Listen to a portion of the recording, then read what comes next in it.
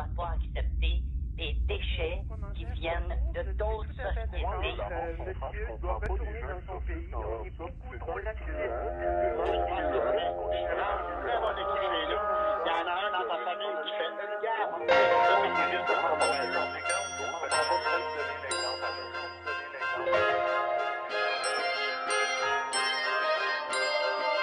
Une balle, deux balles, passées de balle, trois. Un mort, deux blessés, l'affaire Villanueva. Un citoyen tué par la police fait l'effet d'un feu de bail. Touchy comme sujet, parlons pas au bye-bye. Plus facile de faire référence à Montréal noir, Montréal nord, Montréal marne, Montréal mort. Plus d'investissement conséquent, monsieur le maire. Et peut-être que Montréal noir serait Montréal art.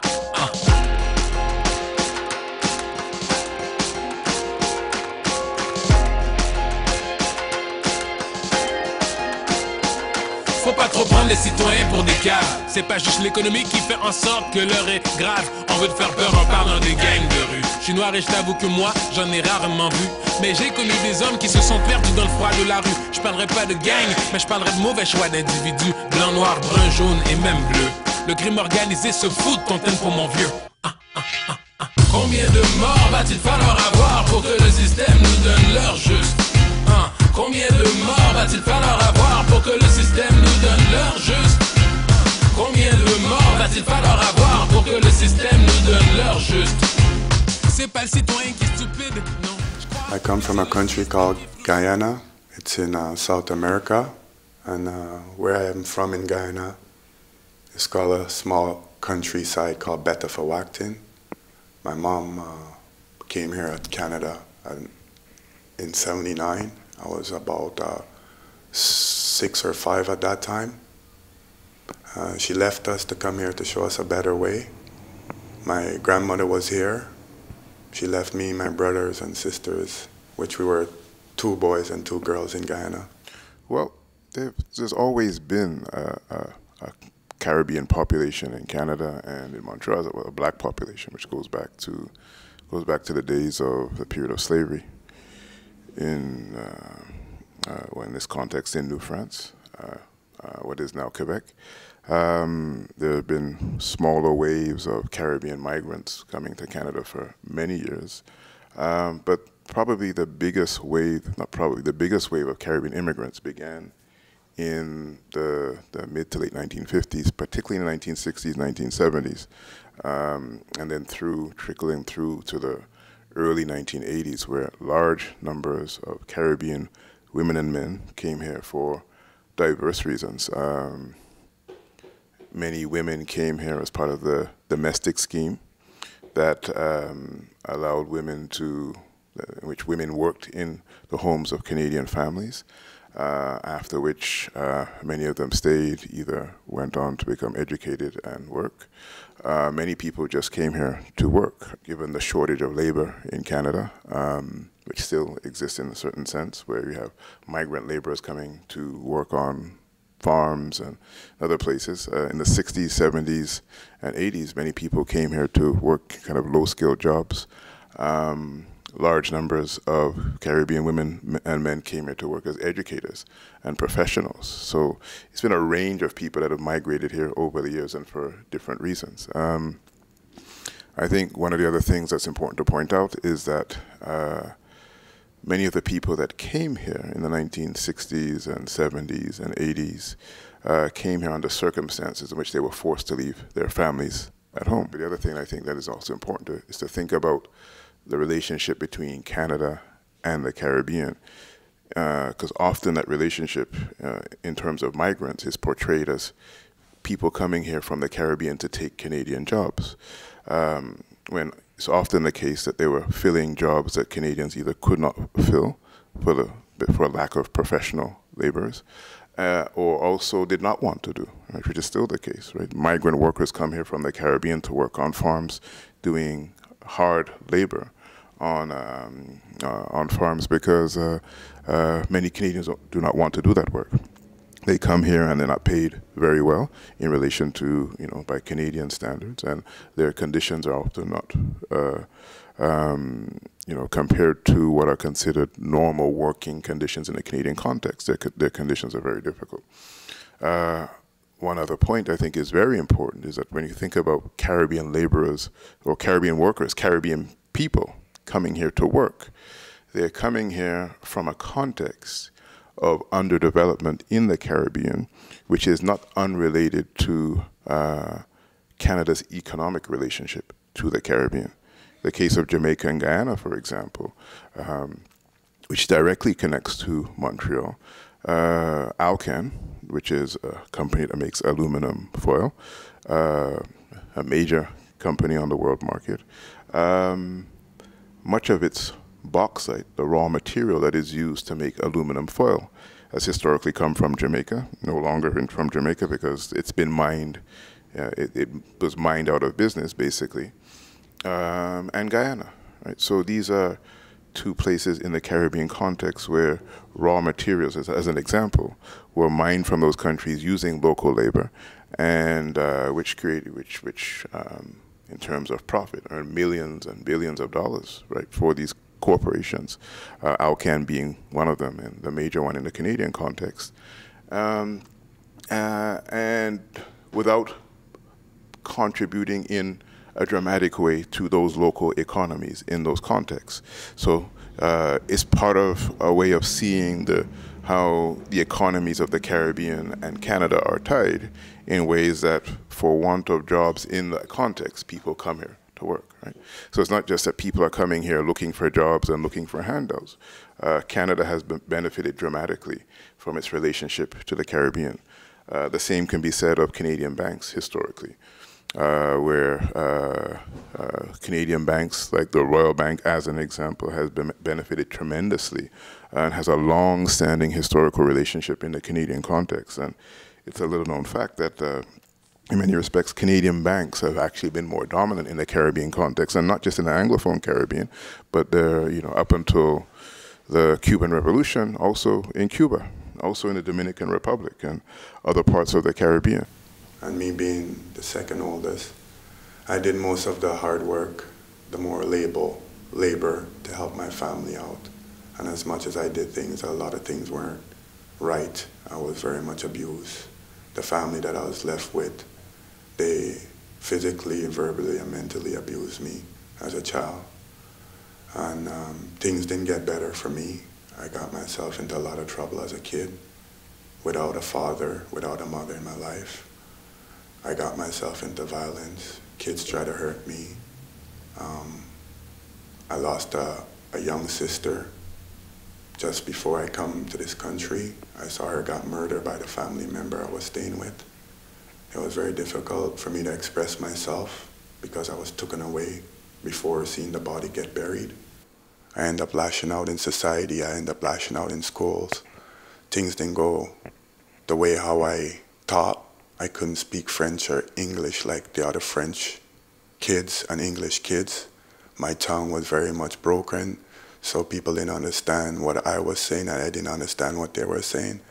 So there was a lot of violence verbally and physically where I couldn't express myself and didn't find understanding how to express myself. Going from school to school with these troubles, it didn't help me because I didn't have nobody to look up to. The lives of younger black women and men, youth, who have found themselves in a kind of hostile environment in this society, that in many respects, many of them have become sort of refuse of the society and live what has been described as wasted lives.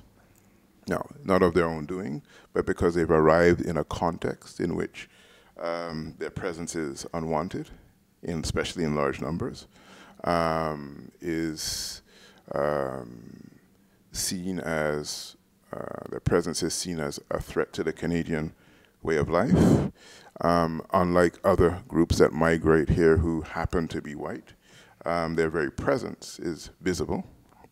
And even in terms of their relationship to the wider society um, as seen as uh, literally physically, you know, physically changing the makeup of the society? Well, racial profiling is something that's endemic, I guess, to city life in Montreal in terms of black communities and also in terms of Filipino communities, generally in terms of, uh, of visible minorities. It's something that has existed for an extremely long time in this city, and it's just very tangible.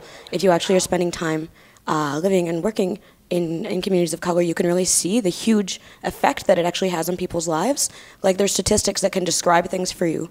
Like, um, black people are two times more likely to be arrested than anybody else in Quebec, and four times more likely to be stopped and having questions asked to them, arrest for identification, and things like this.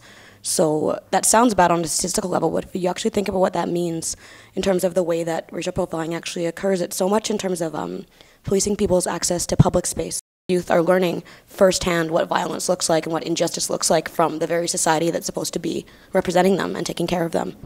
Some youth respond by feeling really angry, which is an anger that I think is extremely justified and I think that we actually need to give a lot of value to because it's a really human reaction to being dehumanized on a day to day level like this. And I think that some of the other things that happen is it actually just starts to um, to affect people so much that they don't see any alternative, and you start to see also just this hopelessness and this acceptance of uh, the way that this happens.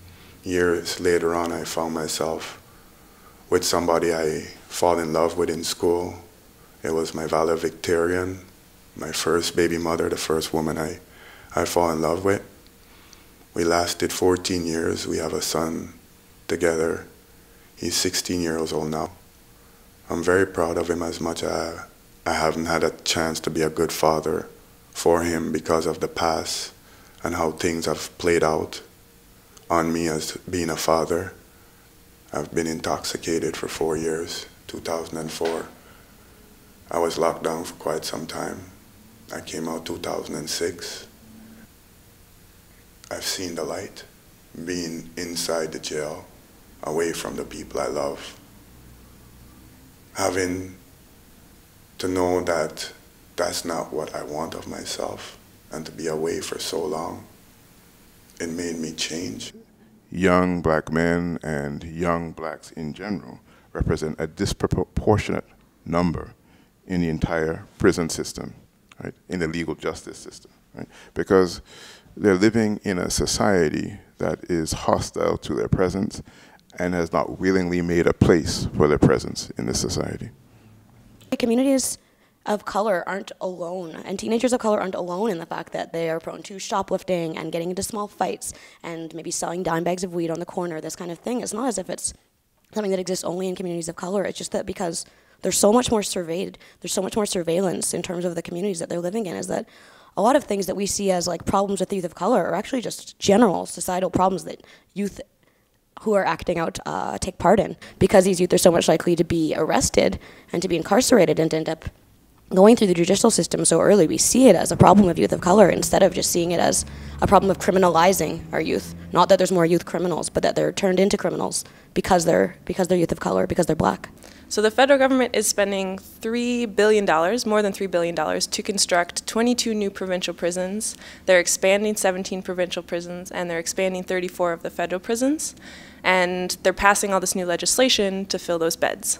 So one of the big ones that just got a lot of news was Bill C-10. Uh, Bill C-10 raises the mandatory minimums for a whole bunch of different sentences and also makes it harder for people to get out on parole. So if you're inside and you're trying to get out on parole and you get denied parole, now you have to wait a year or more to see the board again before you can get out. Um, they've also changed it so that if you're out on parole and the police pick you up, they don't have to talk to your parole officer before they throw you back in prison.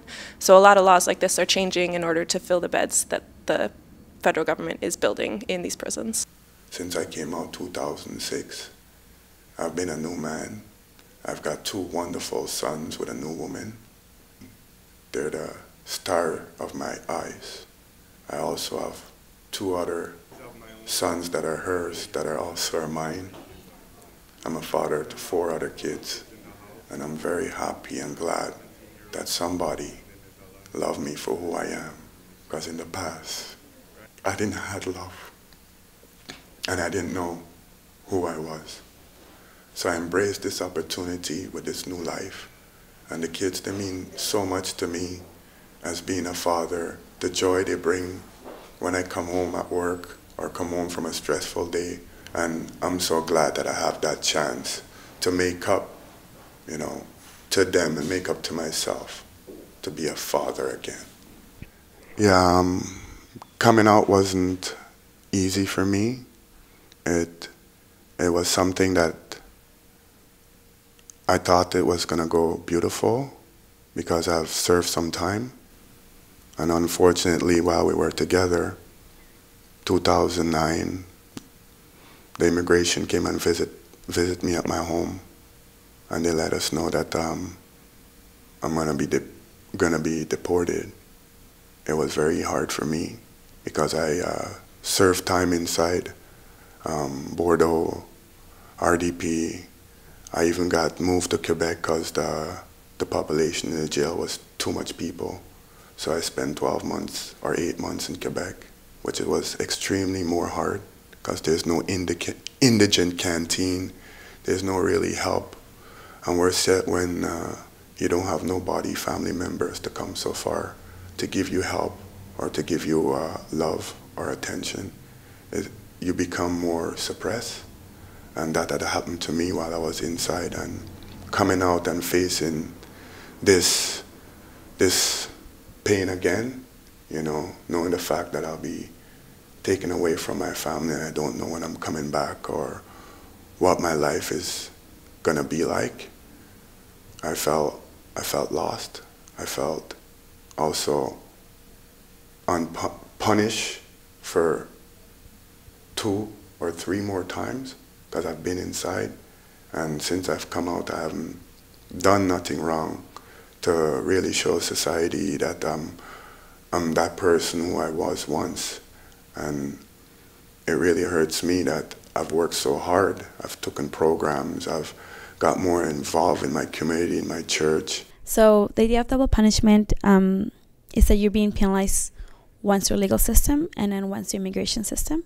Um, it applies for non-citizens, so permanent residents, um, refugee claimants, refugees, um, anyone who doesn't fit the, the category of, non- citizenship, um, who's been in jail for six months or more um, through a federal crime. Um, this was implemented in 2001 by by the liberals. They replaced the 25 year old immigration regime with the Immigration and Refugee Protection Act, and they included a section that talks about um, serving time in jail um, and then facing deportation as a consequence. Immigration Minister Jason Kenney stated that immigrants who non-citizens who face more than six months in jail um, will be deported immediately as soon as they come out. Je trouve que c'est pas juste ce que le gouvernement y pense puis comment il agit, parce qu'il faut donner quand même une deuxième chance à quelqu'un qui a quand même vécu 30 années ici au Canada. Puis je sais pas pourquoi il décide maintenant même pour déporter tous les immigrants que au moins il a gardé sa paix, il n'a pas rien fait de mal, il n'a pas fait le vol qualifié, il n'a pas frappé quelqu'un. Il a tout respecté qu'est-ce qu'il fallait depuis que moi et lui on était ensemble. Il n'a pas fait de vol non plus. Alors, je trouve ça vraiment injuste comment le gouvernement y pense. Alors, parce là, pour toutes les personnes qui ont, sont bien en, leur couple, en famille, tout ça, il faut donner quand même une deuxième chance de, de remettre leur vie en, en valeur encore plus. So the government isn't just building prisons, they're also building immigration detention centers. So there's a thing that happens where people get out of a prison if they've done time and get taken across the street in Montreal, across the street literally to the immigration detention center to face deportation. Um, and I think those two facilities fit together in this way of trying to control people, trying to force people out of this country, trying to keep people under surveillance. There's a lot of connections between CSIS and the police in terms of watching people who are out on parole or watching people who are without papers or waiting deportation all of that kind of stuff fits together in this broader picture of trying to control people and trying to surveil people. That means is that even if people have grown up here with their entire families who are maybe at different levels of achieving citizenship, that um, just for being convicted of what is termed serious criminality, even though that's the seriousness of that criminality is not necessarily connected to what we might actually consider to be serious or threatening or extremely violent, say. Um, so then you see a large amount of people being taken away from their families and sent actually back to places that they have never spent any time, that they don't know, that are not their homes. So in terms of being given a second chance, which is something that we see as how the Canadian justice system functions, this is not true for people who don't have their full citizenship, even if they live here and all their families are here and their lives are here.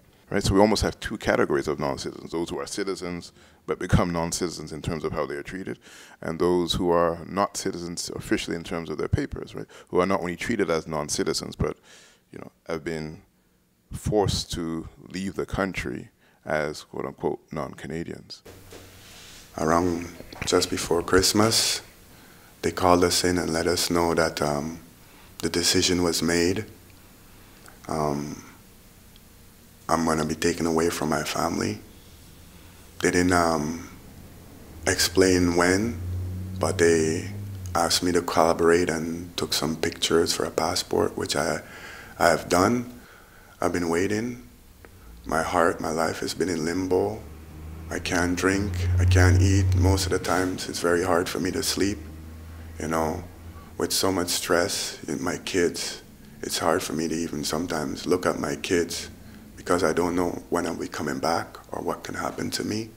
You know, it's really, it's really hurting me to know that I've been inside and I've come outside and it's been five, six years and I'm going to be taken away from my family.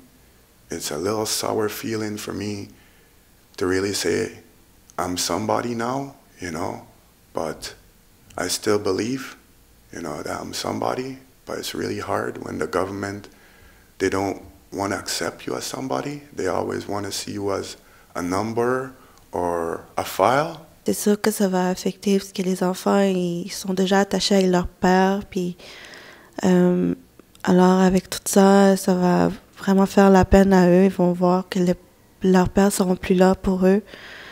Puis moi, ça me plus affecté pour moi parce que quand je me levais le matin, on est toujours habitué à faire euh, euh, beaucoup de choses ensemble en famille. Puis là, je vais tout seul avec mes quatre enfants. Alors ça dure un peu.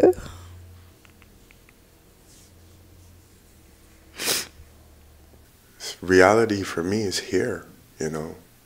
Came here August 23rd, 1983. You know, born December, December 1973. Guyana is not an easy place. Uh, uh, parts of Trinidad are not an easy place. And if you're going back as an adult to a place that you left as a child without um, a certain level of education, right, a certain level of uh, professional experience, and basically arriving in a place, uh, in a context that um, is home but not home, right? Or was home but is no longer home. Um, uh, um, it's not a tenable situation. You're, it's like sending any other Canadian from their home to a foreign environment in many respects and asking them to begin their lives from scratch. Fait porter le blâme aux enfants. Si Freddy est mort, c'est qu'ils ont agi en délinquant. Nous, on voit de l'outrage à la justice et manque d'empathie de la part de celui qui représente le point de vue de la mairie. C'est tannant de constater ce que vit Danny Villanueva. Calmons-nous un moment et pensons vraiment à ce qu'on élève. On veut le déporter, jeter le bébé avec l'eau du bain. Euh, aux États-Unis, en 1996, le gouvernement a adopté une loi pour euh, faire euh, des déportations massives euh, de toutes les personnes qui n'ont pas la citoyenneté et qui ont un casier criminel. Et euh, cette loi-là a eu un impact euh, pour euh, beaucoup de pays parce que beaucoup de gens, bon, il y, a toutes sortes de gens qui se sont retrouvés à être déportés, des gens, par exemple, qui avaient, qui avaient été condamnés pour alcool au volant, mais il y a aussi des criminels endurcis, disons, comme des gens qui ont, goûté à la vie de gang à Los Angeles et, qui sont devenus comme des, criminels d'habitude et qui sont euh, déportés dans des pays où ce que, euh, disons, euh, les, les, forces policières sont vraiment pas organisées pour dealer avec la criminalité sophistiquée. Et ça a eu pour effet de, comment dire, d'augmenter le taux de criminalité dans certains pays. C'est le cas du Honduras où euh, l'apparition du phénomène euh, des maras euh, est une conséquence directe de la politique de déportation des États-Unis.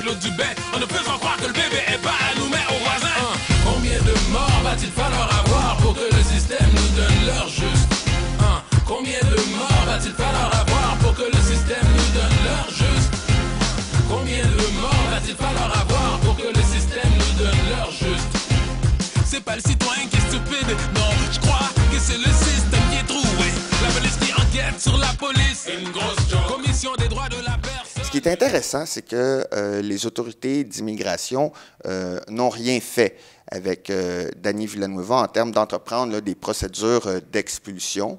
Il n'y a rien qui a été fait jusqu'en janvier 2010, donc pratiquement quatre ans après le plaidoyer de culpabilité en avril 2006. En janvier 2010, donc, l'Agence des services frontaliers du Canada euh, convoque Danny Villanueva devant la commission d'immigration et de statut de réfugié.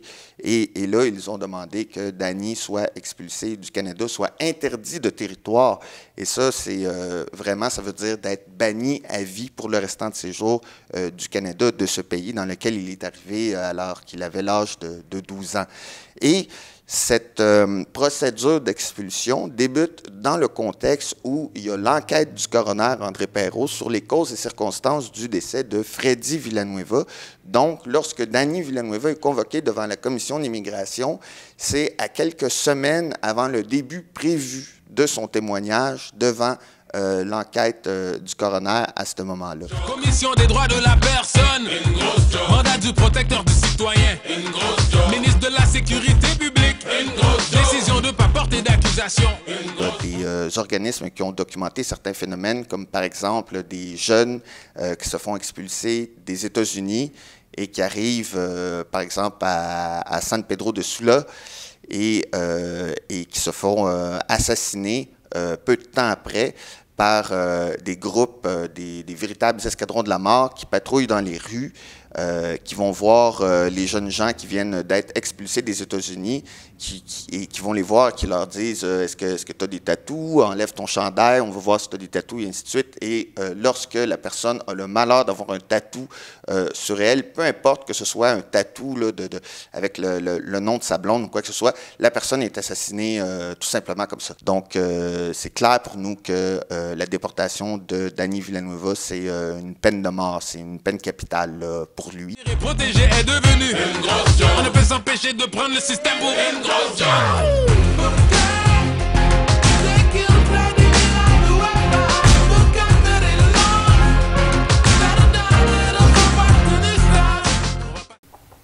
I'm 38 years old now and I found my home.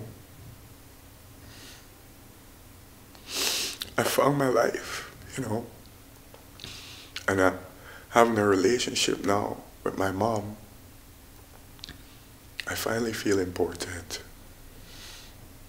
I finally see the mistakes that I've made and why why I didn't, you know, make things better. And it's now that I see things going better, that I want better and I can do better, you know. Nicholas's situation is one of many.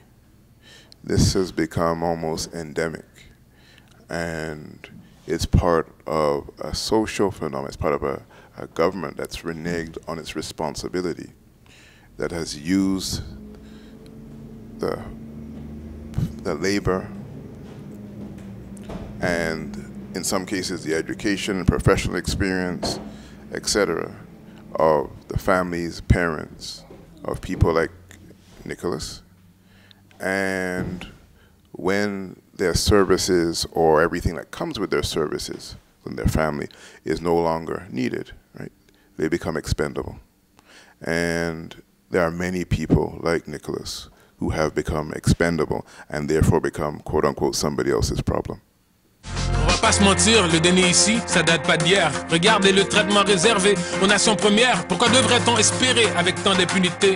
La majorité visible a l'impression de déranger. Si t'es si ouvert d'esprit, mais donc nos noms sur tes boulevards. On veut exister pas seulement dans tes corridors et couloirs. Peut-être que si vous nous verrez aussi comme vos enfants. C'est pourquoi notre Freddy Villanueva est si important.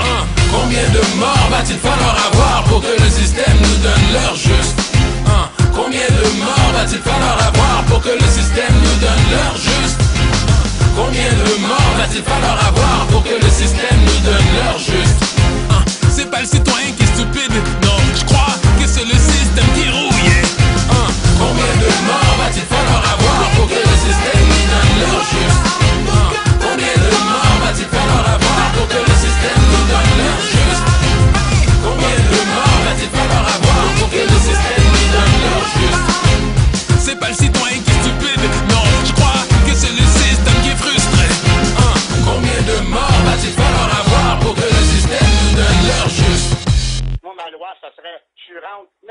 chez nous, il y en a un dans ta famille qui fait une gaffe, c'est toute ta famille qui retourne à la maison.